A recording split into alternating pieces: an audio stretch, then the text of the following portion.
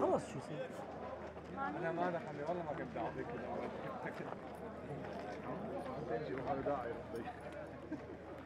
مناطق ال- الحرب اللي صارت بسوريا هي تحولت لاستديو استديو سينمائي. يعني آه، هو عم يجذب شوي شوي المنتجين لعنا لحتى يجوا يصوروا افلامه آه، بناء هيك أماكن مكلف جدا لتعمل لها استديو تصوير. فأنت صار عندك استديو جاهز.